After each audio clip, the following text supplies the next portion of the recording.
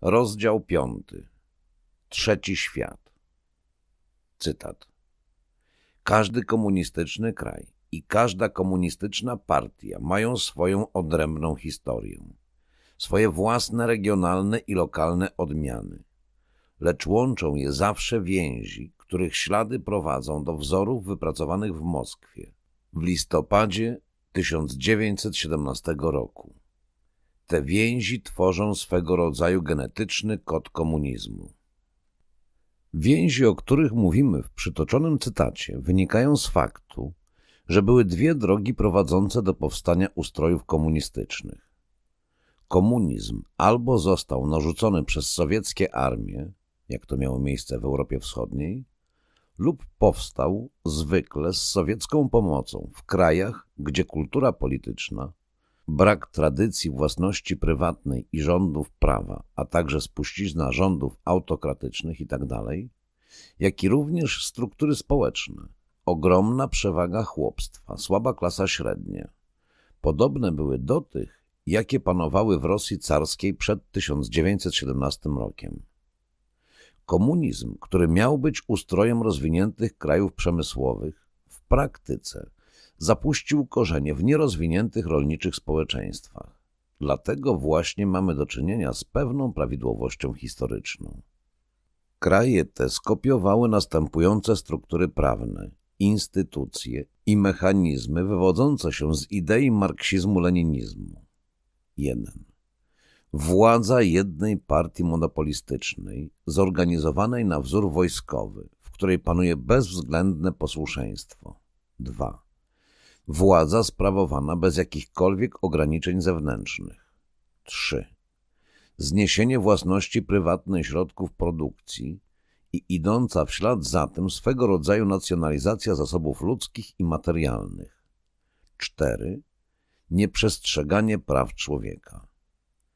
Przedstawiciele tych reżimów utrzymywali, że rządząca partia jest nieomylna i wszechmocna, zawsze postępuje słusznie, nie uznaje żadnych ograniczeń. Niemalże zawsze przywódca był personifikacją partii, uosabiał jej ideę przewodnią i był ubóstwiany. Powszechnie uznaje się, że bieda jest pożywką komunizmu. Rzeczywistość temu zaprzecza. Kraje biedne nie opowiadają się za ustrojem komunistycznym.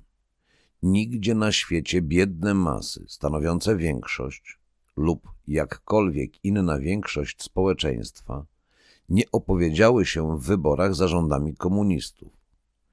Ubogim krajom trudniej jest przeciwstawić się przejęciu władzy przez komunistów, ponieważ nie mają instytucji, które w krajach bogatszych potrafią w zarodku zdławić zapędy radykalnych dyktatorów.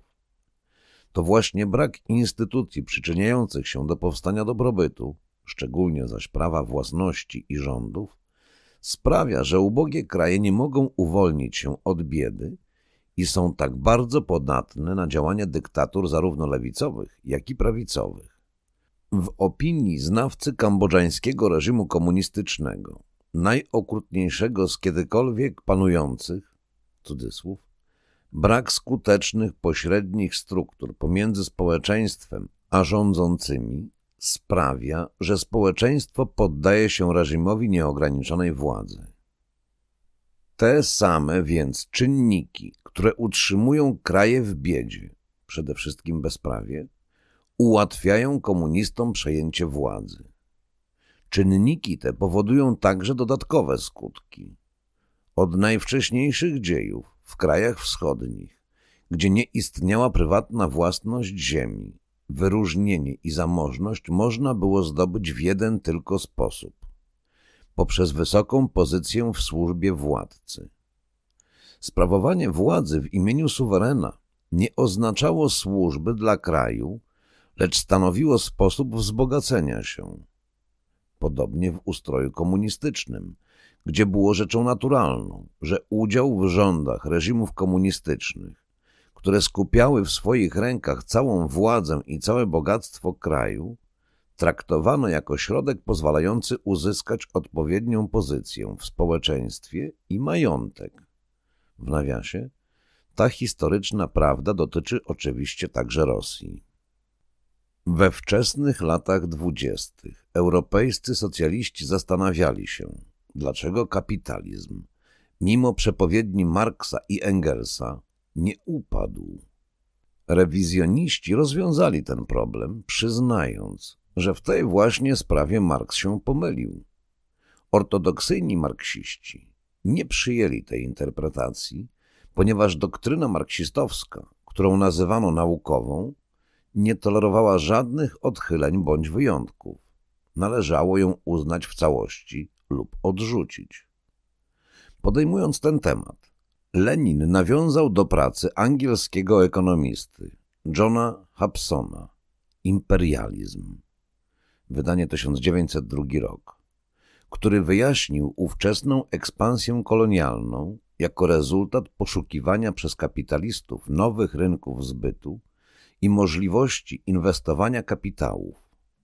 Lenin rozwinął to zagadnienie w pracy Imperializm jako najwyższe stadium kapitalizmu, w której twierdził, że kolonie i osiągane tam zyski ekonomiczne mają zasadnicze znaczenie dla przetrwania rozwiniętego kapitalizmu.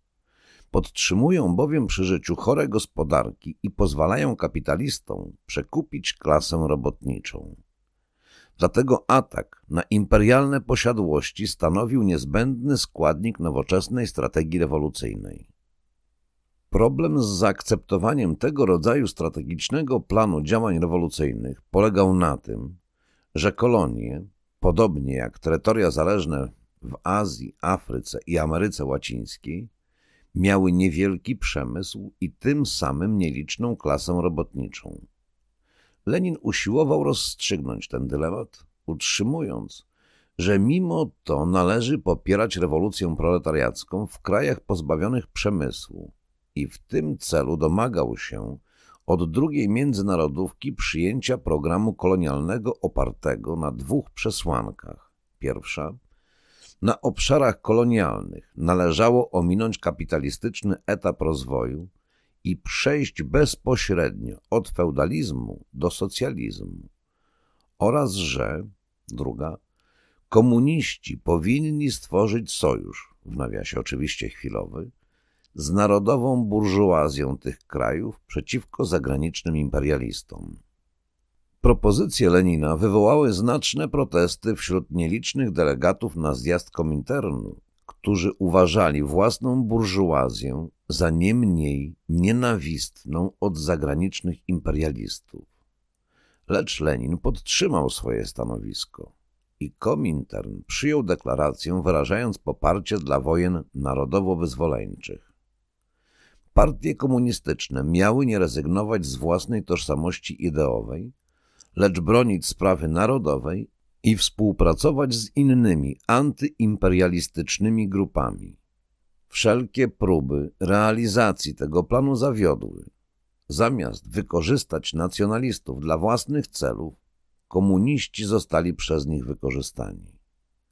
W latach 1918-1919 armie sojusznicze okupowały zachodnią Anatolię i Konstantynopol stolicę Imperium Osmańskiego, sojusznika Niemiec, pokonanego podczas I wojny światowej. Turecki ruch narodowy, kierowany przez Kemala Mustafa Paszę, Ataturka, postanowił wyrzucić z kraju obcych interwentów. W 1920 roku Kemal Pasza zaproponował Moskwie podjęcie wspólnych działań przeciwko państwom okupującym Anatolię. Moskwa wyraziła zgodę i w 1921 roku podpisała z Kemalem Paszą układ o przyjaźni, zobowiązujący oba państwa do prowadzenia wspólnej walki przeciwko imperializmowi. Zgodnie z przyjętymi przez Komintern praktykami podpisanemu porozumieniu pomiędzy państwami towarzyszyła prowadzona przez Moskwę działalność wywrotowa. Odtajnione ostatnio dokumenty znajdujące się w archiwach sowieckiej partii komunistycznej ujawniają, że zawierając sojusz z tureckimi nacjonalistami, Moskwa podejmowała równocześnie tajne działania w celu obalenia ich rządu. W dyrektywie napisanej pod koniec 1920 roku przez Lenina czytamy, cytat, Nie ufajcie kemalistom, nie dawajcie im broni, skupcie wszystkie siły na sowieckiej agitacji wśród Turków i twórzcie zręby trwałej sowieckiej partii, zdolnej do zapewnienia zwycięstwa własnymi siłami. Natomiast Kemal Pasza, aczkolwiek przyjął pomoc Moskwy i zamierzał powołać do życia jednopartyjny rząd na wzór Sowietów, nie miał zamiaru tolerować w Turcji działalności komunistów. Dwa miesiące po założeniu przez agenta Kominternu tureckiej partii komunistycznej znaleziono ciało tegoż agenta i jego towarzyszy, zamordowanych z całą pewnością przez kemalistów.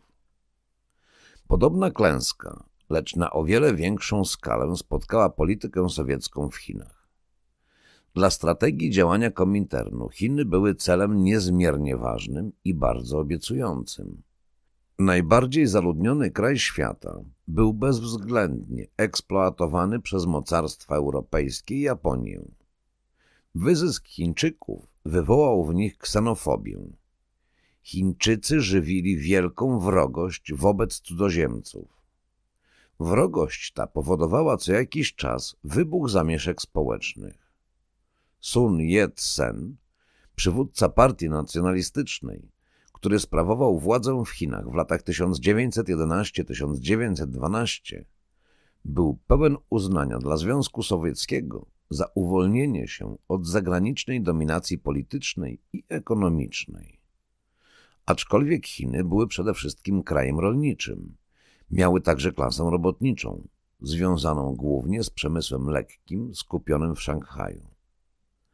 Lenin pokładał duże nadzieje w Chinach składającym mu wizytę członkom misji dyplomatycznych z Pekinu oświadczył, iż chińska rewolucja doprowadzi w końcu do upadku światowego imperializmu. Chiang Kai-shek, który w latach dwudziestych pojawił się na chińskiej scenie politycznej jako czołowy przywódca Kuomintangu, był pod wielkim wrażeniem sowieckiej rewolucji i zaprosił do Chin sowieckich doradców. Chińska Partia Komunistyczna powstała w 1921 roku na polecenie Moskwy i składała się wyłącznie z intelektualistów oraz studentów szkół wyższych. Zgodnie z zasadami przyjętymi przez Komintern, Komunistyczna Partia Chin zachowała odrębną tożsamość, lecz wielu jej członków zapisało się do Kuomintangu. Uczynili to na rozkaz Moskwy, która sądziła, że w ten sposób zbuduje w Chinach antyimperialistyczny front. Na koniec Moskwa zaoferowała Kuomintangowi swoich wojskowych i politycznych doradców. Jednakże po śmierci Sun Yat-sena, kiedy Chiang Kai-shek objął kierownictwo, pomiędzy Moskwą a przywódcami Kuomintangu pojawiało się coraz więcej różnic. W kwietniu 1927 roku Chiang Kai-shek usunął z Kuomintangu wszystkich komunistów, a tysiące z nich zostało zamordowanych. Z klęski tej Stalin wysnuł wniosek, iż wysiłki zmierzające do wykorzystania nacjonalizmu w krajach trzeciego świata dla celów komunistycznych są bezowocne.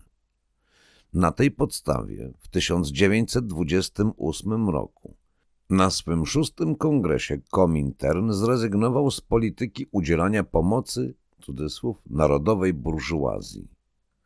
Odtąd przez 25 lat, aż do śmierci Stalina, ZSRR wyraźnie ograniczył swoją działalność na obszarach kolonialnych i powierniczych, rezygnując w krajach trzeciego świata ze współpracy z przedstawicielami lokalnej burżuazji, których nawet po uzyskaniu przez te kraje niepodległości uznawał za lokajów mocarstw imperialistycznych. Dlatego też w 1953 roku autorzy Wielkiej Encyklopedii Sowieckiej potraktowali Mahatma Gandiego jako agenta brytyjskiego imperializmu. Związek Sowiecki swoją działalność poza granicami kraju opierał teraz na partiach komunistycznych, działających legalnie bądź nielegalnie, niezależnie od ich liczebności. W 1948 roku Moskwa wywołała serię komunistycznych rewolucji i powstań zbrojnych w południowo-wschodniej Azji, w Birmie, na Półwyspie Malajskim i Filipinach. Wszystkie te rewolty zostały stłumione. Komuniści odnieśli sukces tylko w Indochinach, nawias w Wietnamie, gdzie miejscowe oddziały partyzanckie zmusiły Francuzów do wycofania się z północnej części kraju. Dopóki żył Stalin, Związek Sowiecki koncentrował wszystkie swoje siły na rozbudowie potęgi przemysłowej i militarnej oraz nasianiu niezgody pomiędzy wielkimi mocarstwami. Zwycięstwo chińskich komunistów nad Kuomintangiem i zajęcie całego terytorium Chin stanowiło wielkie zwycięstwo komunizmu. Nagle pod panowaniem marksistowsko-leninowskiego ruchu znalazło się pół miliarda ludzi, niemalże dwukrotnie więcej niż przed chińską rewolucją komunistyczną. Lecz ten triumf nie był jednoznaczny, ponieważ osiągnięty został za cenę podziału międzynarodowego ruchu komunistycznego. Chiny wkrótce poszły swoją drogą, rozbijając jego jedność. Raz jeszcze tendencje nacjonalistyczne przeważyły nad lojalnością klasową. W październiku 1927 roku, po ofensywie Chiang Kai-sheka przeciwko komunistycznej partii Chin, resztki rozbitych i rozproszonych organizacji komunistów chińskich schroniły się w trudno dostępnych rejonach wiejskich Chin. Mao Zedong jeden z komunistycznych przywódców, kiedyś zdecydowany zwolennik poparcia działalności Kuomintangu, spędził następne blisko 20 lat, tworząc w trudno dostępnych rejonach Chin oddziały armii partyzanckiej.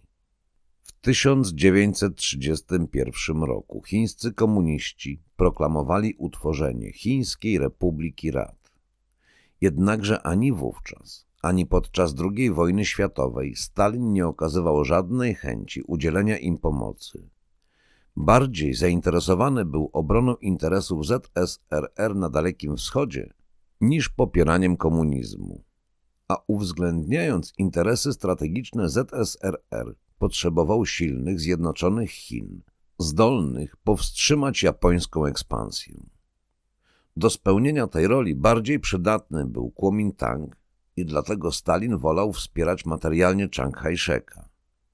Później pomny klęski, jaką poniósł w konflikcie z niezależną komunistyczną partią Jugosławii, która w 1948 roku pod przywództwem Josifa Brostito odmówiła wykonania poleceń Moskwy i zerwała ze Związkiem Sowieckim, Stalin obawiał się, że Chiny przekształcą się w kolejne państwo titoistowskie.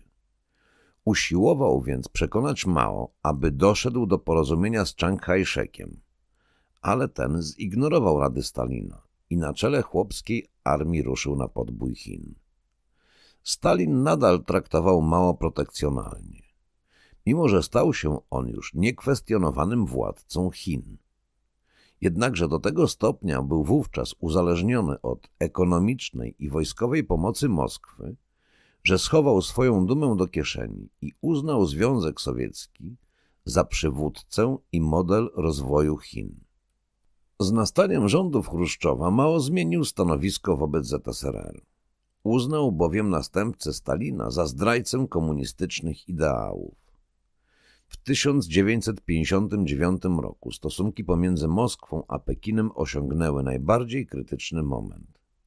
Częściowo zresztą dlatego, że ZSRR nie chciało przekazać Chinom technologii produkcji broni atomowej.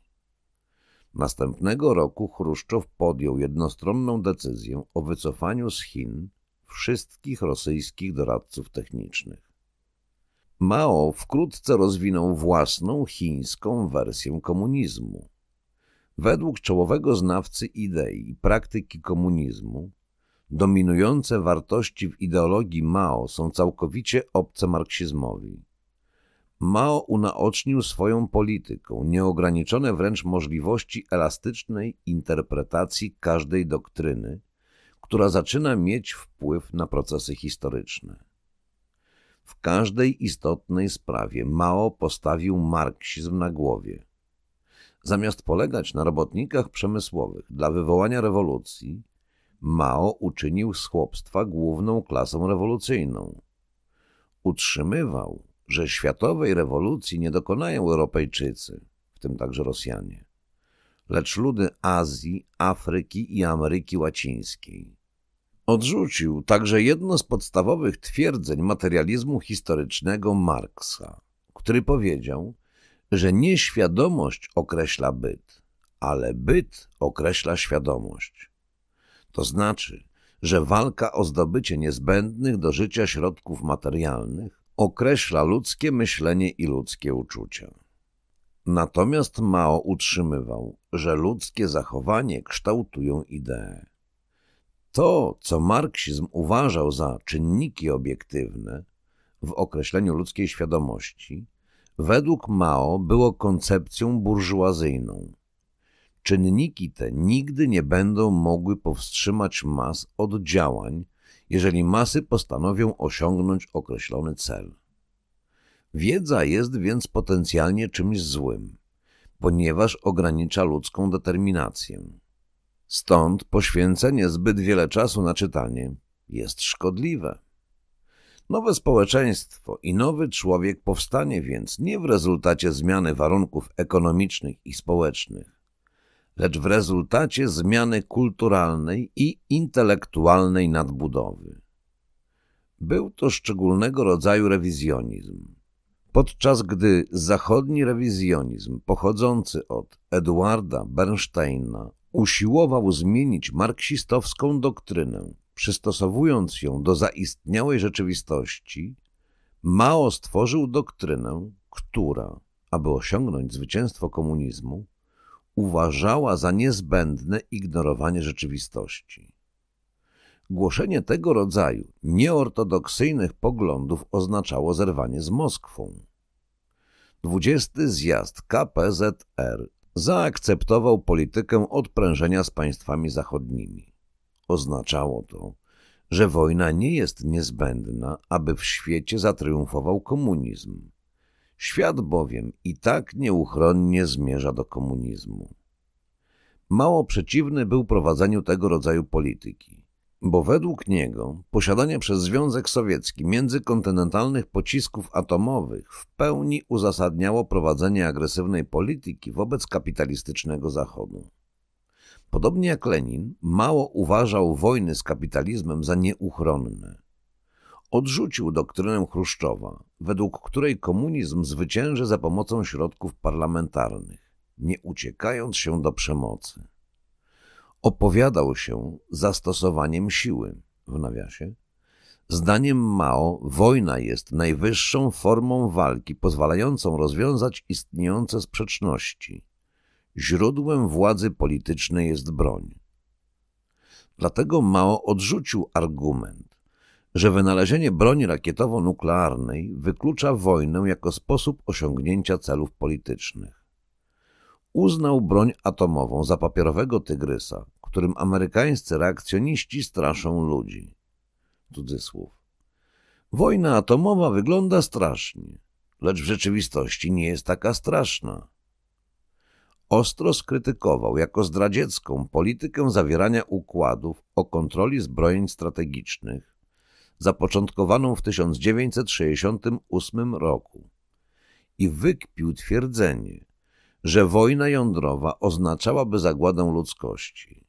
Ze zdumiewającą niefrasobliwością napisał, cudzysłów, jeśli zdarzy się najgorsze i zginie połowa ludzkości, to druga połowa przetrwa podczas gdy imperializm zostanie wymazany z powierzchni ziemi i cały świat stanie się socjalistyczny.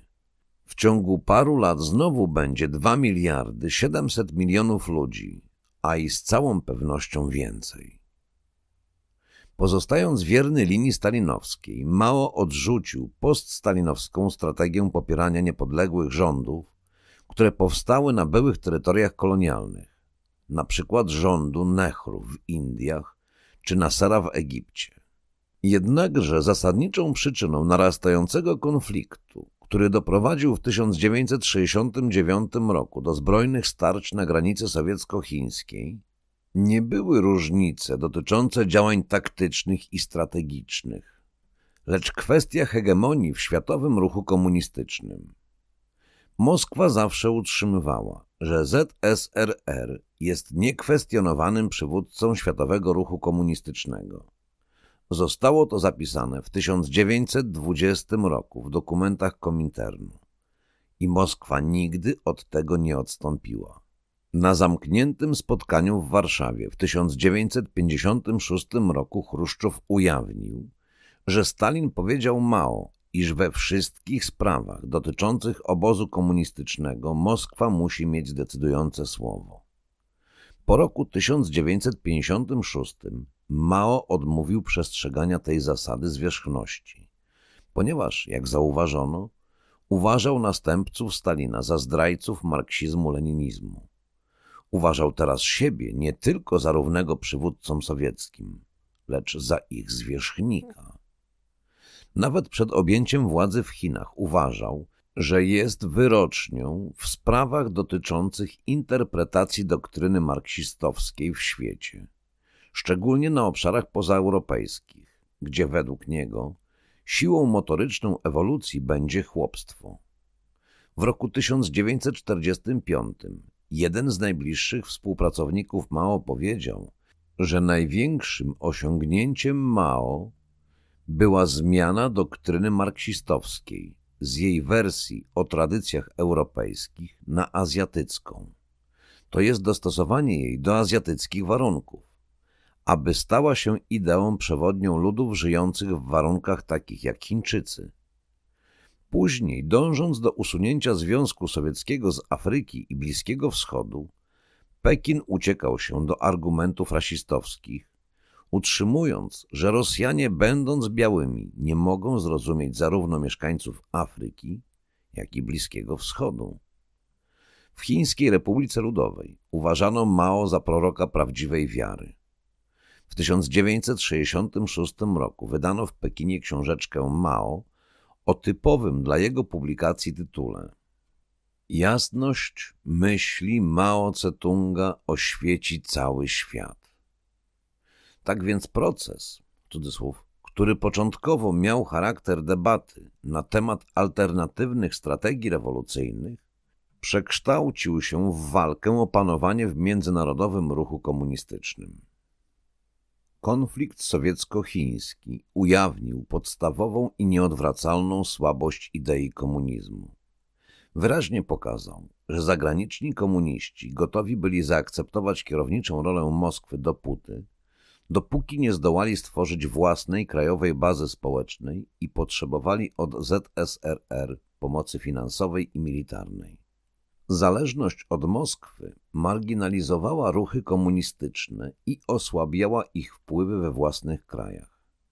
Jeżeli jednak komunistom udało się zdobyć liczące się poparcie w kraju, jak to miało miejsce najpierw w Jugosławii, a później w Chinach, stawali się autonomiczną siłą i sami w sobie byli już pewną wartością w międzynarodowym ruchu komunistycznym lecz wówczas nie przyjmowali już bezkrytycznie rozkazów z Moskwy i nie uznawali narodowego interesu Związku Sowieckiego jako nadrzędnego.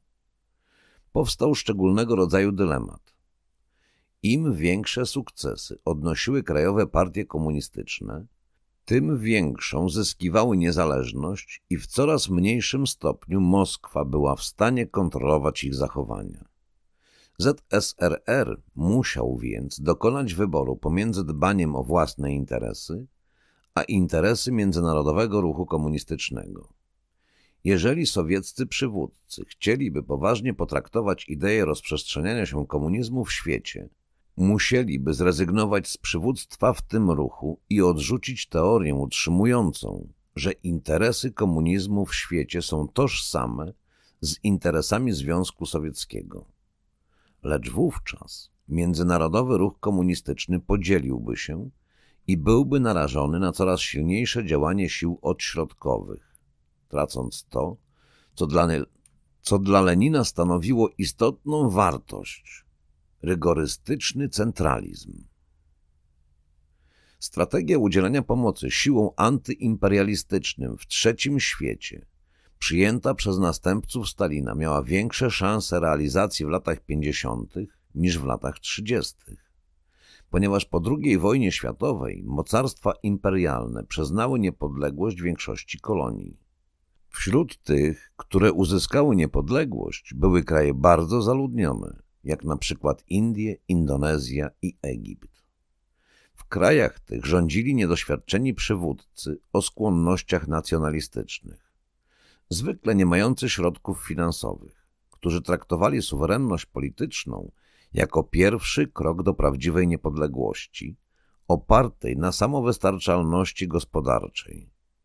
Podziwiali Związek Sowiecki jako kraj, który pokonał barierę zacofania i stał się potęgą przemysłową. Chcieli naśladować drogę, którą przebył ten kraj i dlatego z nadzieją powitali sowiecką pomoc i doradztwo.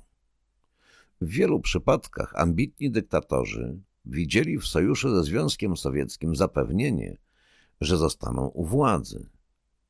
Ze swojej strony deklarowali więc lojalność socjalistyczną, licząc na pomoc organów bezpieczeństwa i sił zbrojnych bloku komunistycznego w konfliktach wewnętrznych oraz w walce z zagranicznymi rywalami.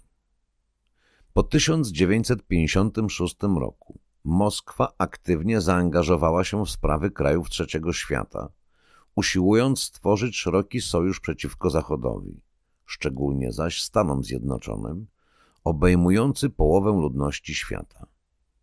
Związek Sowiecki na różne sposoby starał się zakotwiczyć w tych krajach. W Indiach finansował i nadzorował budowę wielkiej stalowni. W innych krajach elektrownie, a nawet pomagał w budowie piekarni. W Egipcie Moskwa pomagała w budowie tamy asuańskiej, która po raz pierwszy w historii pozwalała kontrolować roczne wylewy Nilu. Tego rodzaju akcje pomocy ekonomicznej miały na celu unaocznić egoistyczną postawę kapitalistycznego Zachodu wobec krajów trzeciego świata. Moskwa uzbroiła kraje arabskie przeciwko Izraelowi oraz Etiopię przeciwko Somalii. We wszystkich tych przypadkach udzielaniu pomocy towarzyszyli sowieccy doradcy. To oni umożliwili Moskwie utworzenie ogólnoświatowej sieci przedstawicieli Związku Sowieckiego na wszystkich kontynentach. Pomoc prowadziła do uzależnienia ekonomicznego, które można było wykorzystać do stworzenia systemu zależności politycznej. W ostatecznym jednak rachunku ta ambitna i kosztowna polityka przyniosła Związkowi Sowieckiemu niewielkie korzyści. Moskwa po prostu nie miała zasobów ekonomicznych, aby odgrywać rolę, jaką wyznaczała jej nowa polityka wobec krajów trzeciego świata. Związek Sowiecki w każdym kraju, od Bliskiego Wschodu do Afryki, usiłował wypełnić próżnię polityczną, udzielając różnym krajom pomocy finansowej i militarnej, aby przekonać się w końcu, że nieprzewidziane wydarzenia pozbawiają go sojuszników, w których tak wiele zainwestował, lub też sojusznicy ci całkowicie zmienili swoją politykę. Jak ktoś powiedział, przywódców krajów trzeciego świata nie można było kupić, można było jedynie wynająć. Zasadniczym skutkiem polityki Związku Sowieckiego wobec krajów trzeciego świata było wzbudzenie zaniepokojenia w krajach zachodnich, zaostrzenie zimnej wojny i poważne obciążenie finansowe ZSRR. Marksiści-leniniści, uważając swoją doktrynę za naukową, starali się analizować działania, popełnione błędy i wyciągnąć z nich wnioski. Jednakże nie byli w tym konsekwentni z obawy, że ruch komunistyczny nie osiągnie swego ostatecznego celu, który był poza wszelką krytyką. Czynili to jedynie ze względu na konieczność wprowadzenia zmian w strategii i taktyce działania. Lenin w pełni podzielał poglądy Marksa, że aby zapobiec kontrrewolucji, należy bezwzględnie zburzyć całą strukturę instytucjonalną kapitalizmu. Obserwując rewizjonizm następców Stalina, Mao doszedł do wniosku, że nie wystarczy zniszczyć instytucje. Trzeba jeszcze zmienić psychikę człowieka. Zmiana osobowości człowieka była oczywiście ostatecznym celem marksizmu, lecz Mao chciał osiągnąć cel ten bezzwłocznie, wykorzystując do tego całą swoją władzę. Chińscy komuniści ustanowili reżim totalitarny wzorowany na modelu sowieckim. Mao początkowo wiernie kopiował stalinowską politykę gospodarczą. Skolektywizował rolnictwo i wprowadził pięcioletni plan uprzemysłowienia Chin. Lecz były także różnice. Sowieccy dyktatorzy, spadkobiercy reżimu carskiego, nie bardzo przejmowali się tym, co ludzie naprawdę myślą, dopóki podporządkowywali się i udawali, że wierzą w to, co mówią przywódcy reżimu. Natomiast chińscy komuniści zdecydowani byli doprowadzić społeczeństwo do stanu autentycznej, intelektualnej i duchowej uległości. Ambicje chińskich komunistów miały swoje korzenie w filozofii i tradycji konfucjańskiej. Konfucjanizm podkreślał zasadnicze znaczenie doskonałości moralnej w życiu człowieka i domagał się, aby władcy opierali swoje rządy także na cnotach moralnych, a nie wyłącznie na przymusie. Mało obawiał się, że jeśli nie uda mu się zmienić osobowości i psychiki Chińczyków do tego stopnia, aby całkowicie przyswoili sobie doktryny Marksa i Lenina i oczywiście doktrynę maoistowską, Chiny podzielą los Rosji Sowieckiej, to znaczy poddadzą się wpływom rewizjonizmu i porzucą prawdziwą wiarę w komunizm. Przyjęte przez mało założenia skłoniły go do przeprowadzenia dziwacznych eksperymentów, całkowicie nieudanych, powodujących olbrzymie koszty ludzkie i materialne narodu.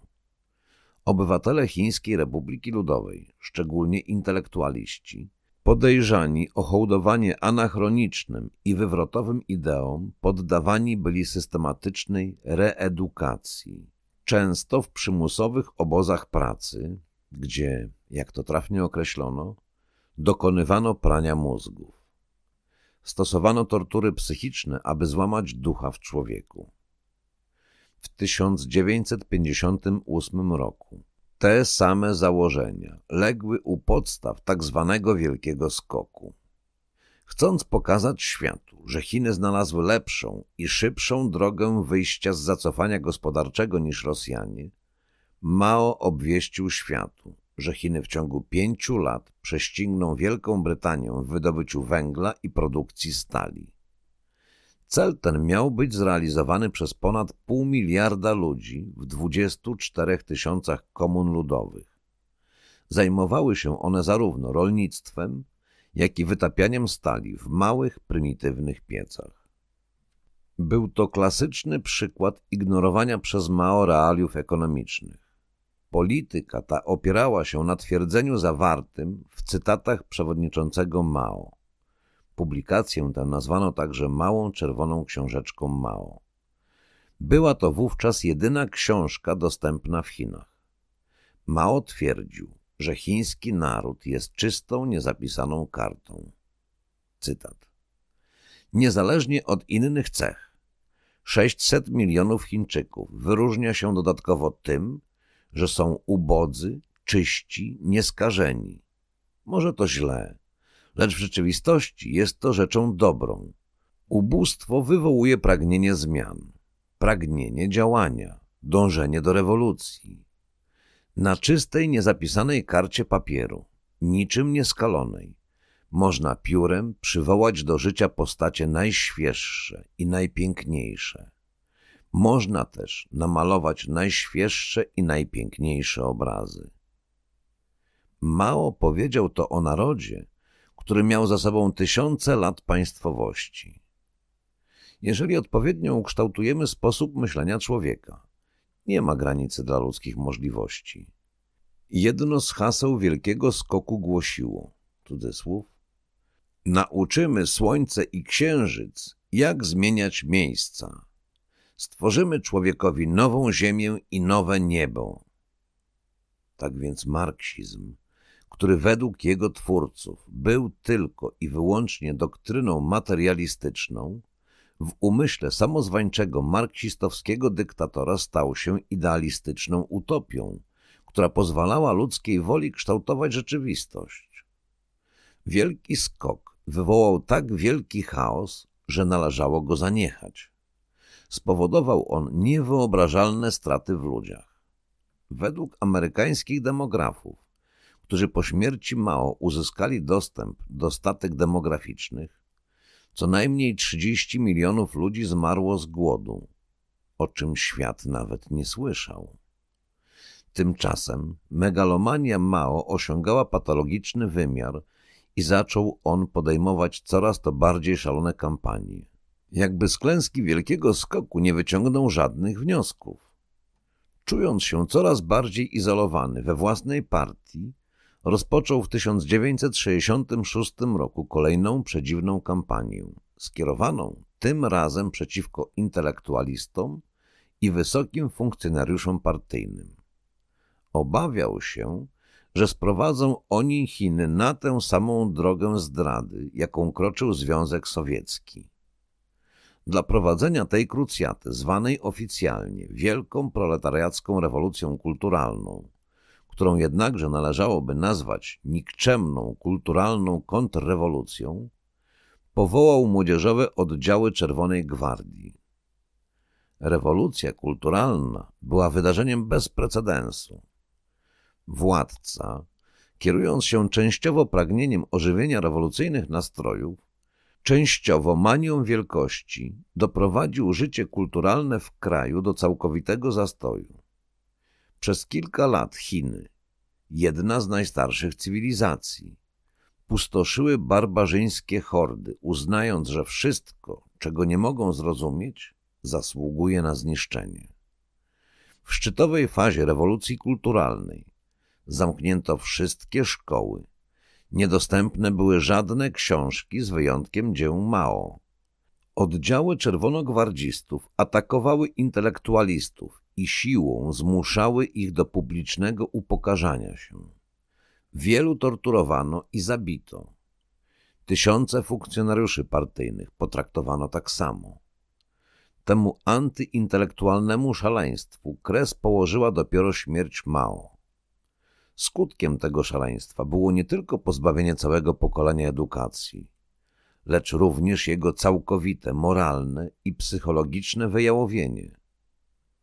Mimo iż każdy w Chinach, kto ośmielił się krytykować szaleństwo kampanii Wielkiego Skoku lub rewolucji kulturalnej, narażał się na aresztowanie i utratę wolności, na Zachodzie znalazło się sporo radykalnych intelektualistów sympatyzujących z maoistowskim barbarzyństwem i usiłujących doszukać się w bełkotliwych i irracjonalnych myślach Mao pewnej mądrości. Sukcesor Mao, Deng Xiaoping, położył kres tym niedorzecznym, dzikim i niszczącym Chiny eksperymentom. Deng w 1979 roku zapoczątkował politykę reform, które miały doprowadzić do powstania wolnego rynku i odrodzić ducha przedsiębiorczości. Od tego czasu Chiny, zachowując komunistyczną ideologię i formę rządu, weszły na drogę gospodarczej prywatyzacji i w gruncie rzeczy odrzuciły podstawową zasadę komunizmu, a więc zniesienie własności prywatnej. Ruchy rewolucyjne stają się do pewnego momentu coraz bardziej radykalne i okrutne. Dzieje się tak, bo po kolejnych niepowodzeniach ich przywódcy, zamiast dokonać ponownej analizy i oceny fundamentalnych założeń teoretycznych, ponieważ to one są przyczyną klęsk, usiłują z jeszcze większą bezwzględnością wprowadzić je w życie w głębokim przekonaniu, że przyczyną dotychczasowych niepowodzeń był brak wystarczającej determinacji. W końcu jednak, kiedy nie można już zaradzić kolejnym klęskom, a zmęczenie bierze górę, spadkobiercy twórców reżimów totalitarnych zadowalają się już tylko osobistymi korzyściami, jakie daje im reżim. Dzieje się tak jednakże dopiero wówczas, gdy wyczerpią wszelkie, nawet najbardziej nieludzkie środki represji. Podobnie jak Holokaust wyrażał samą istotę narodowego socjalizmu, tak samo rządy Czerwonych Khmerów w Kambodży 1975-1978 były ucieleśnieniem najczystszego komunizmu. Taką właśnie przyjął postać, kiedy z idei jej usiłowano wyciągnąć najbardziej logiczne wnioski. Nic nie było w stanie powstrzymać przywódców Kambodży, dążących do utworzenia pierwszego w świecie naprawdę egalitarnego społeczeństwa, aby osiągnąć ten cel, gotowi byli unicestwić każdą liczbę ludzi. Reżim Czerwonych Kmerów wyrażał nieposkromioną pychę komunistów, ich wiarę w nieograniczoną moc elity intelektualnej kierującej się doktryną marksistowską, wiarę w możliwość stosowania nieograniczonej przemocy, aby całkowicie zmienić ludzkie życie. W konsekwencji mieliśmy do czynienia z niszczeniem ludzkiego życia na niewyobrażalną wręcz skalę. Przywódcy Czerwonych Kmerów zdobyli wykształcenie w paryskich uczelniach, gdzie studiowali dzieła Rousseau i przejęli się jego wizją człowieka natury, jak również prace Franza Fanona i Jean-Paula Sarta, nawołujące do przemocy w walce z kolonializmem, w nawiasie. Trzeba zabijać, pisał Sart, aby rzucić Europejczyka na kolana, należy równocześnie poskromić ciemiężyciela i ciemiężonego. Po powrocie z Paryża przywódcy Czerwonych Kmerów na północno-wschodnim płaskowyżu w Kambodży utworzyli bardzo zdyscyplinowane oddziały zbrojne, złożone głównie z młodych chłopców, analfabetów i półanalfabetów, pochodzących z najbiedniejszego chłopstwa. Tych bojowników, głównie dwunasto-czternastoletnich, poddano intensywnej indoktrynacji – wpajano im nienawiść do ludzi od nich odmiennych, zwłaszcza mieszkańców miast i wietnamskiej mniejszości, aby wzbudzić w nich miłość do zabijania i tym samym do wojny. Szkolono ich, robiono z nich, podobnie jak z nazistów SS, zwierzęta dręczące i zabijające ludzi. Czas ich rządów przypadł na początek 1975 roku. To wówczas oddziały Czerwonych Kmerów obaliły rząd Lon Nola, któremu Amerykanie pomogli przejąć władzę i zajęły stolicę kraju, Phnom Penh. Większość ludzi nie wiedziała, co ich czeka, ponieważ propaganda Czerwonych Kmerów uspokajała społeczeństwo, obiecując amnestię funkcjonariuszom dawnego reżimu, zjednoczenie wszystkich klas społecznych przeciwko imperialistom i wielkim właścicielom ziemskim. Jednakże z chwilą wejścia oddziałów zbrojnych do Phnom Penh władze Czerwonych Kmerów wprowadziły w życie najostrzejsze środki represji. Ich przywódcy przekonani, że miasta są siedliskiem wszelkiego zła, według Fanona, schronieniem zdrajców i niegodziwców, rozkazali dwóm i pół miliona mieszkańcom opuszczenie stolicy. Wypędzili także wszystkich mieszkańców pozostałych ośrodków miejskich.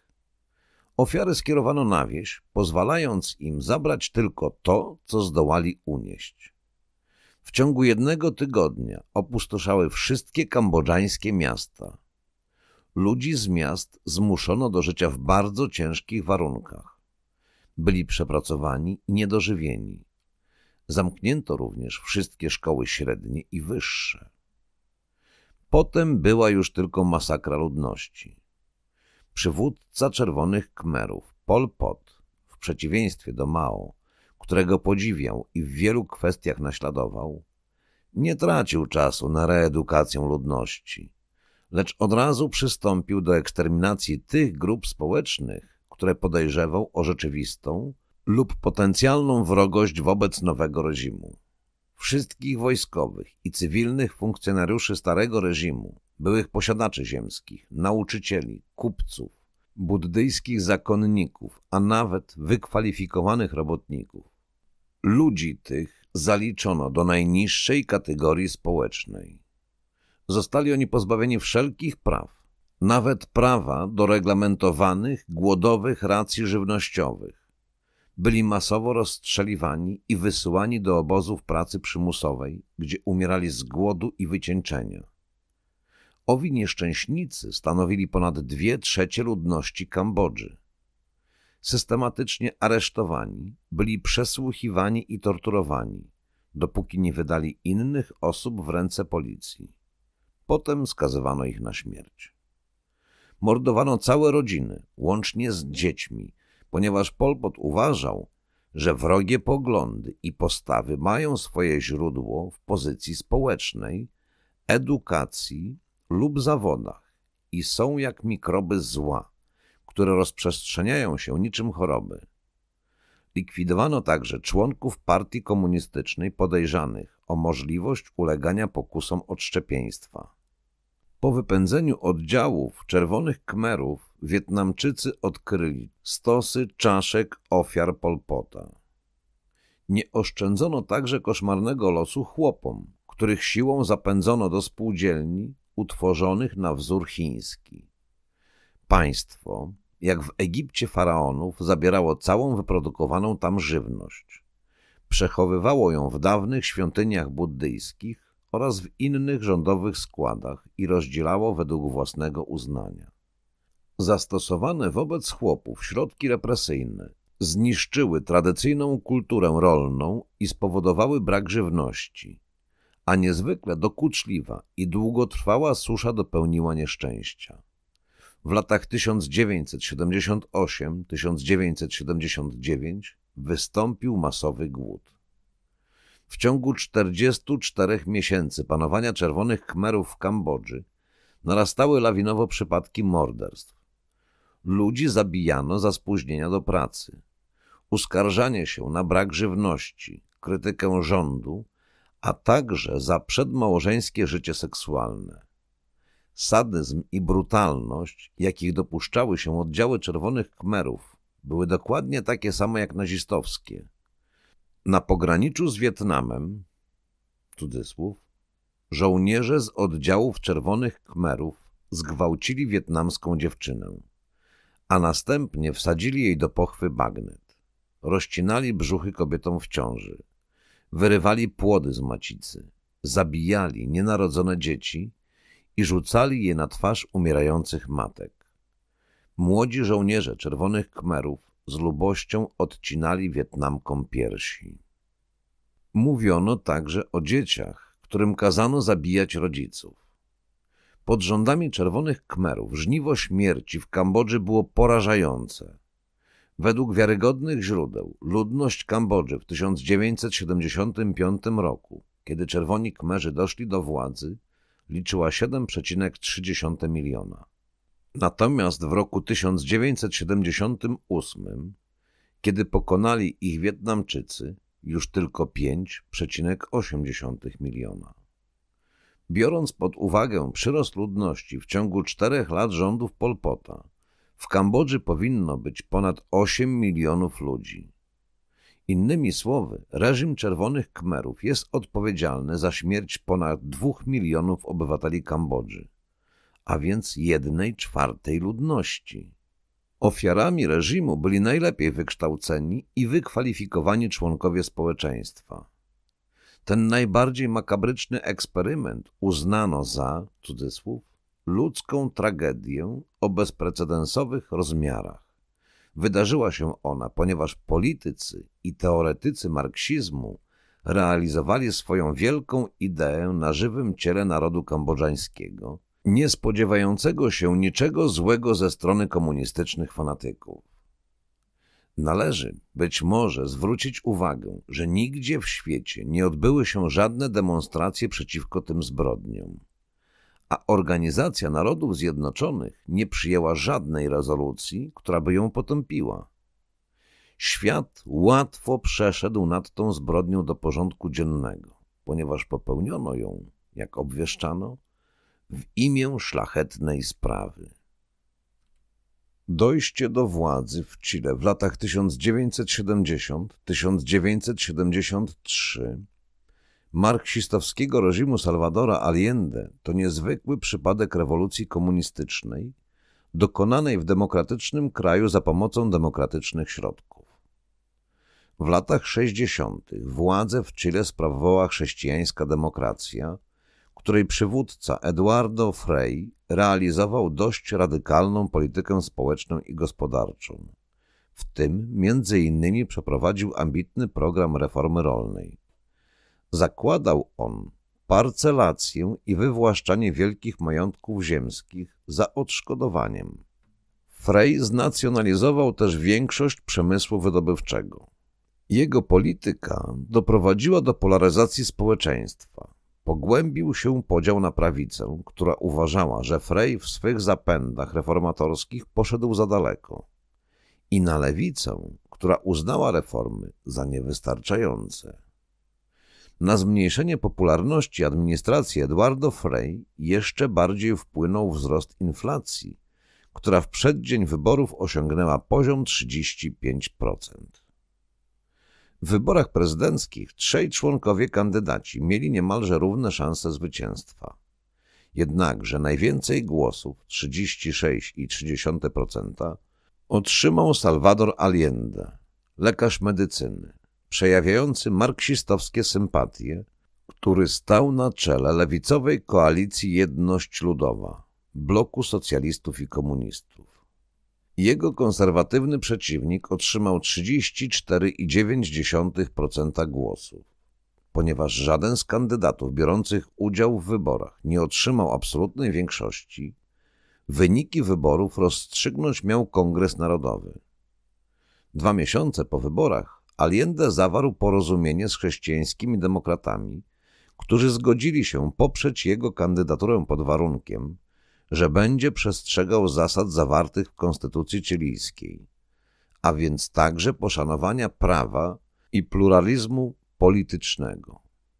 Kongres Narodowy przyjął statut gwarancji konstytucyjnych, co umożliwiło Allende objęcie prezydentury.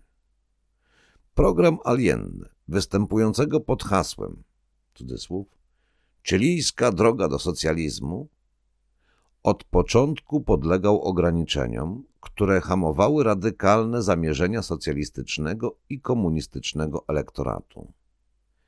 Mimo podziwu, jaki żywił dla Fidela Castro, Allende był raczej romantycznym idealistą niż fanatycznym rewolucjonistą. Zdecydowani wprowadzić w Chile dyktaturę proletariatu na wzór sowiecki, popychali go coraz bardziej w kierunku radykalnej lewicy. Kiedy zawodziły stosowane przez niego środki, stawał się coraz większym radykałem. Allende był przekonany, że będzie mógł osiągnąć socjalistyczne cele za pomocą legalnych środków, zakładając, że w rezultacie realizowanych reform uzyska poparcie większości społeczeństwa. Komuniści popierali tego rodzaju strategię utrzymania się przy władzy, przekonani, że w Chile metodami pokojowymi mogą osiągnąć swoje cele polityczne. Niestety wydarzenia potoczyły się inaczej. Częściowo dlatego, że zawierające wiele akcentów socjalistycznych projekty ustaw Allende wywoływały negatywną reakcję sporej części społeczeństwa, która odsunęła się od niego, a częściowo z tego powodu, że w gospodarce narodowej zapanował ogromny bałagan. Obejmując prezydenturę, Allende powierzył w powołanym przez siebie Zjednoczonym Rządzie Ludowym resorty gospodarcze komunistom, którzy usiłowali przeprowadzić nacjonalizację pozostałej części przemysłu wydobywczego, systemu bankowego i większości przemysłu. Przyjęte jako dyrektywy rządowe z mocą ustaw decyzje o dalszej nacjonalizacji ominęły całą parlamentarną procedurę ustawodawczą. Przejęcie przez państwo kopalni miedzi stanowiących własność koncernów wydobywczych Anaconda i Kennecott spowodowało wstrzymanie wszelkich inwestycji zagranicznych. Z pomocą Allende przyszedł Związek Sowiecki, udzielając rządowi chilijskiemu pożyczki w wysokości pół miliarda dolarów. Z pomocą pośpieszyły także inne państwa. Lecz to nie wystarczyło, aby uratować finanse rządu chilijskiego. Aby zdobyć środki finansowe na realizację różnego rodzaju programów społecznych oraz podołać wysokim żądaniom płacowym, rząd Allende uciekł się do drukowania pustego pieniądza, co wywołało wzrost inflacji znacznie wyższy niż w okresie rządów prezydenta Frey. W ciągu trzech lat prezydentury Allende ilość pieniędzy znajdujących się w obiegu zwiększyła się piętnastokrotnie natomiast roczny wzrost inflacji przekroczył 300%. Równocześnie z procesem nacjonalizacji przedsiębiorstw przemysłowych rząd przystąpił do kolektywizacji rolnictwa. Dlatego właśnie tolerował, a nawet zachęcał do przejmowania ziemi obszarniczej.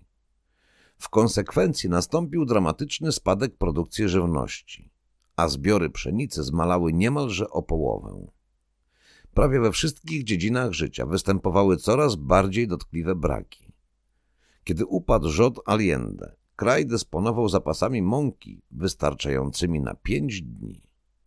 Protesty społeczne w kraju nasiliły się. Przeciwko rządowi zdecydowanie wystąpili kierownicy małych prywatnych firm przewozowych, przeciwstawiając się rządowym planom nacjonalizacji towarzystw transportowych. Obawiali się konkurencji państwowych firm przewozowych.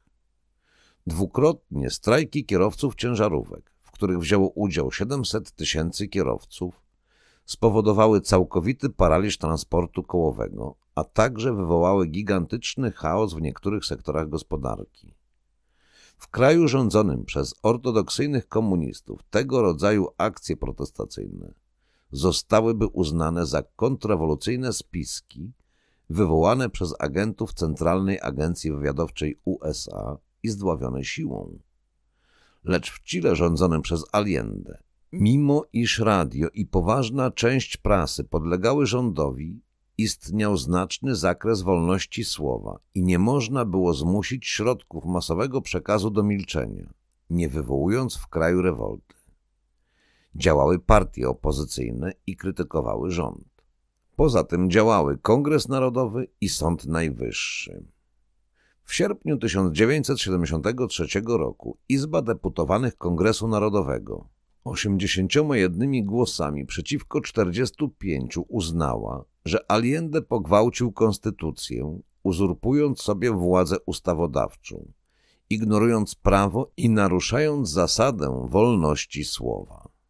Z kolei zaś Sąd Najwyższy potępił Allendę za podporządkowanie władzy sądowniczej celom politycznym.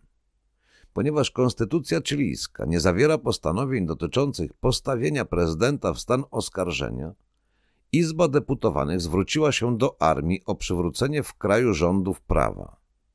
Działając z upoważnienia Izby Deputowanych, 18 dni później armia chilijska dowodzona przez generała Augusto Pinocheta, siłą usunęła Allende z urzędu prezydenckiego.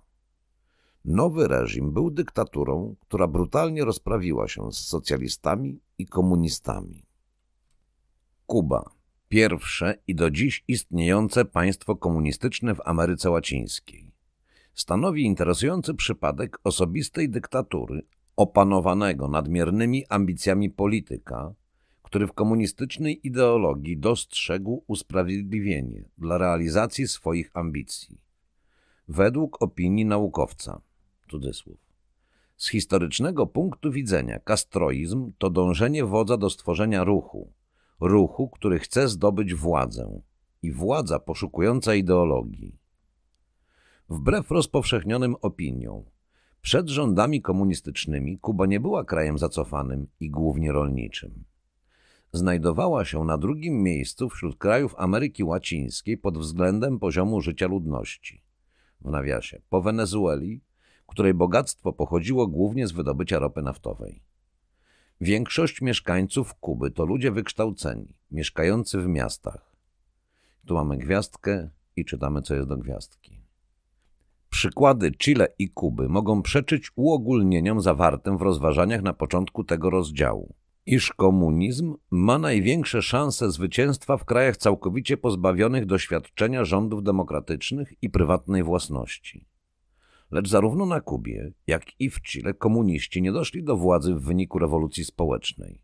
W Chile utworzyli rząd na drodze pokojowej, zawierając z partią chrześcijańskich demokratów porozumienie, które natychmiast pogwałcili. Natomiast na Kubie przejęli władzę, stając na czele narodowej rewolty przeciwko pogardzanemu dyktatorowi w imię przywracania ustroju demokratycznego. Nie jest również prawdą, że gospodarka Kuby opierała się na produkcji i eksporcie cukru. Produkcja cukru stanowiła jedną trzecią lub nawet mniej dochodu narodowego. Innymi słowy, Nie istniały w tym kraju typowe warunki wstępne, które powodowały wybuch komunistycznych rewolucji, a więc ubóstwo i zacofanie. Komuniści przejęli władzę na Kubie na fali buntu klasy średniej przeciwko dyktaturze Batisty, który w 1952 roku zniósł demokratyczną konstytucję, ogłoszoną przez niego samego podczas pierwszego legalnego okresu rządów w latach 1933-1934. Fidel Castro, syn bogatego plantatora, student hawańskiej Wyższej Szkoły Prawa, doszedł do władzy na fali społecznego niezadowolenia. Trzeba jednak zaznaczyć, że aczkolwiek okazywał lewicowe sympatie, nie był komunistą. W gruncie rzeczy nie wyznawał żadnej ideologii. Przejawiał jedynie silne dążenie do władzy. Argentyński rewolucjonista Che Guevara wszczepił mu ideę marksizmu-leninizmu. Castro wystąpił z programem, który miał wokoło niego zjednoczyć wszystkie klasy społeczne. Podkreślał nade wszystko konieczność przywrócenia konstytucji z 1940 roku. Jednakże bardzo szybko po przejęciu władzy dyktatorskiej, w rezultacie autentycznej rewolucji ludowej, Castro zaczął wykazywać silne tendencje lewicowe. Powołał jednopartyjny rząd. Przeprowadził radykalną reformę rolną, a w 1960 roku, zachęcony przez ZSRR, dokonał nacjonalizacji wszelkiej własności firm amerykańskich, co skłoniło prezydenta Eisenhowera do nałożenia na Kubę embarga. W rezultacie amerykańskiej polityki embarga wzrosła zależność Kuby od Związku Sowieckiego.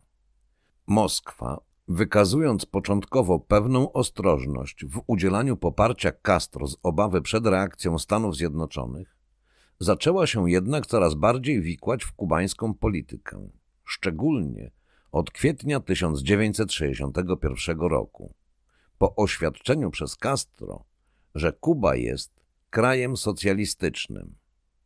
Fiasko inwazji w Zatoce Świń, dokonanej za namową i przy udziale Stanów Zjednoczonych w październiku 1961 roku oraz późniejszy kubański kryzys rakietowy w październiku 1962 roku, który zakończył się oświadczeniem Waszyngtonu, iż USA uszanuje suwerenność Kuby, spowodowały, że kraj ten znalazł się faktycznie w bloku sowieckim.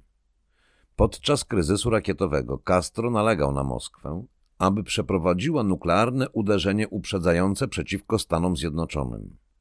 Oświadczył, że gotów jest poświęcić Kubę, aby zapewnić triumf socjalizmu w świecie.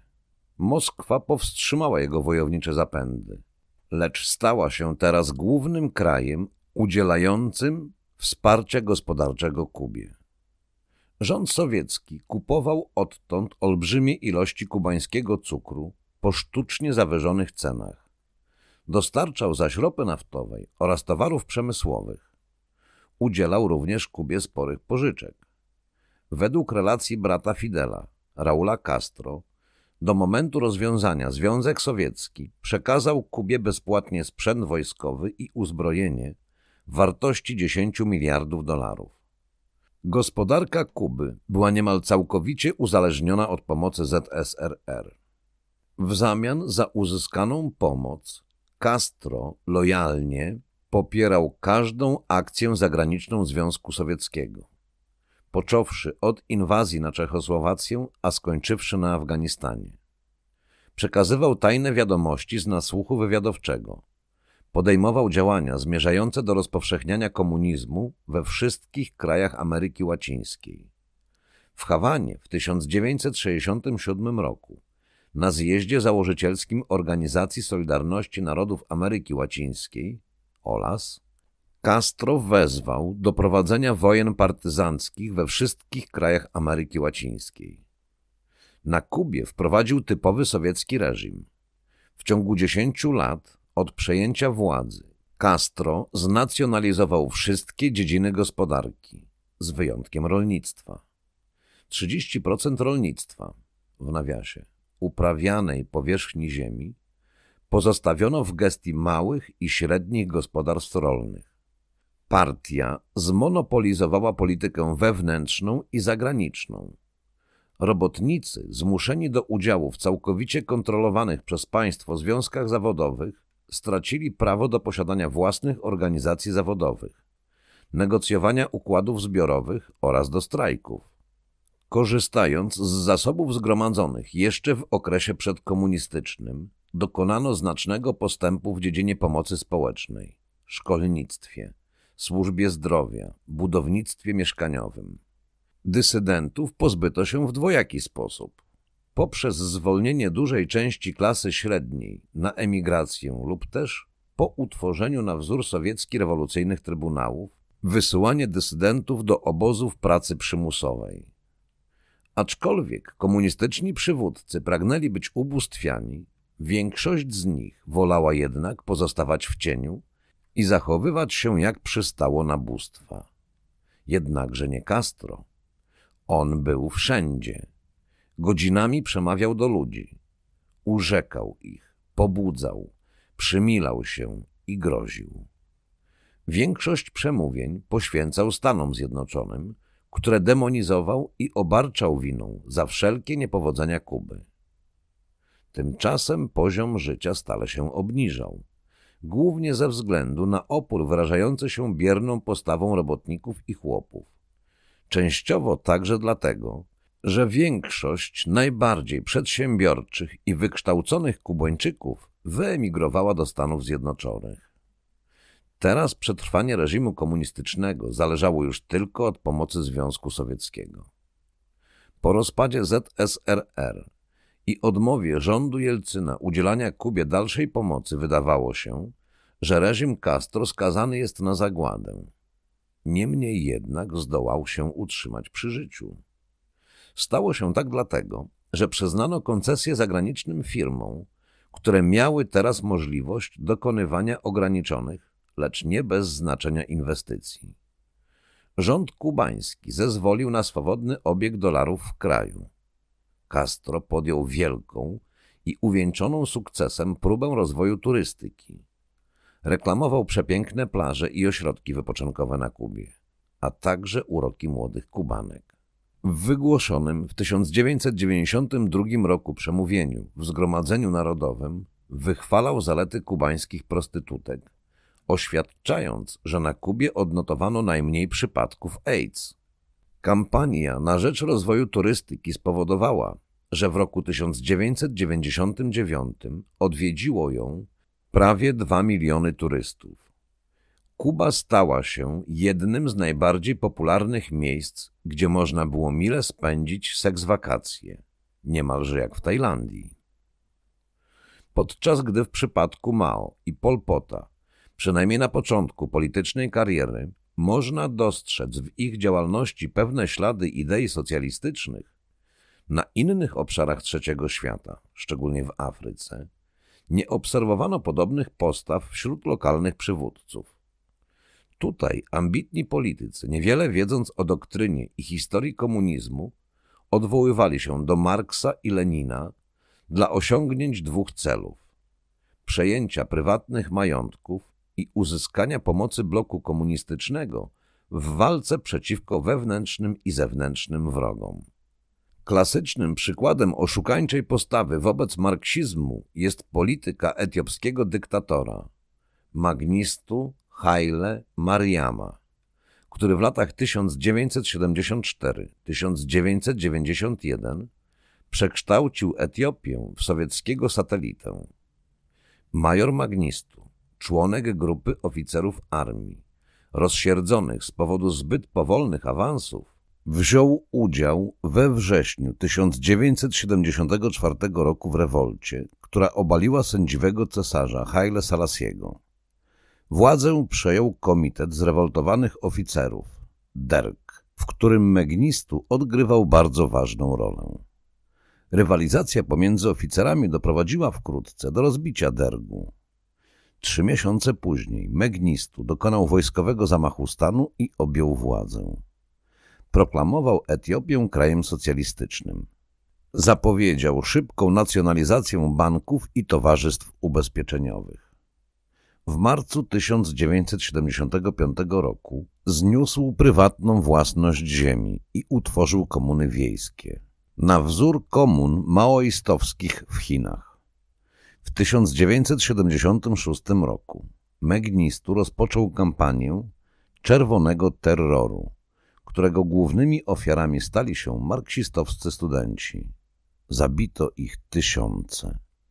Masakry dokonano za pomocą około 10 tysięcy agentów bezpieczeństwa z ZSRR i Niemiec Wschodnich. Związek Sowiecki zdobywał wpływy w rogu Afryki, początkowo popierając ruch naukowego socjalizmu, proklamowany przez wojskową huntę w sąsiedniej Somalii. Potem porzucił Somalię na rzecz Etiopii. Kiedy wojska somalijskie dokonały inwazję na Etiopię w celu zajęcia prowincji Ogaden, państwa bloku komunistycznego udzieliły Mengistu wydatnej pomocy. W ramach tej pomocy do Etiopii przybyło ponad 15 tysięcy kubańskich najemników. Wraz z udzieleniem Mengistu pomocy wojskowej państwa bloku komunistycznego uzyskały wielkie wpływy w Etiopii. Dzięki tej pomocy odparto somalijską inwazję zbrojną i rozbito erytrejski ruch wyzwolenia narodowego. Całkowite zniszczenie gospodarki spowodowane przymusową kolektywizacją rolnictwa oraz suszą doprowadziło do masowego głodu, który w latach 1984-1985 pochłonął blisko milion istnień ludzkich. Po upadku Niemieckiej Republiki Demokratycznej w 1989 roku wewnętrzna pozycja Mengistu wyraźnie osłabła. Po rozwiązaniu ZSRR w 1991 roku etiopski władca znalazł się w całkowitej izolacji. W tym samym roku został obalony i schronił się w Zimbabwe, gdzie uzyskał azyl. Tak właśnie zakończył się najbardziej ambitny i cudzysłów najdalej idący marksistowsko-leninowski eksperyment w Afryce. Jednakże trudno było oczekiwać w istniejącej tylko z nazwy socjalistycznej Etiopii czegoś więcej poza bezwzględną dyktaturą wojskową, naśladującą dla własnych politycznych celów praktyki sowieckich i chińskich komunistów. Podobnie jak wcześniej w Europie Zachodniej i Japonii, w latach 70. i 80. kraje trzeciego świata były świadkami powstania ruchów terrorystycznych, atakujących demokratyczne i kapitalistyczne instytucje w imię marksizmu-leninizmu, stalinizmu i maoizmu. Jednakże ruchy te więcej miały wspólnego z filozofią i praktyką ruchów anarchistycznych niż z jakąkolwiek wersją ideologii komunistycznej. Typowym przedstawicielem tego ruchu była Partia Komunistyczna Peru, zwana potocznie Świetlistym Szlakiem. Założona przez byłego profesora filozofii Abimaela Guzmana Reynoso i składająca się głównie z młodych intelektualistów. Wykorzystywała poczucie krzywdy Indian, aby przez terror zrealizować maoistowski program. Rezultatem działań terrorystycznych w Peru było 25 tysięcy zabitych oraz dotkliwe ciosy zadane peruwiańskiej gospodarce. Po ujęciu i uwięzieniu Guzmana ruch terrorystyczny załamał się. W niektórych krajach Ameryki Łacińskiej, przykład w Kolumbii, marksizm stanowił szyld mający przydać respektu uzbrojonym bandom partyzanckim. W nawiasie rewolucyjnym siłom zbrojnym Kolumbii i Armii Wyzwolenia Narodowego, które uprawiały terror, porywały ludzi, wymuszały okupy i prowadziły na masową skalę handel narkotykami.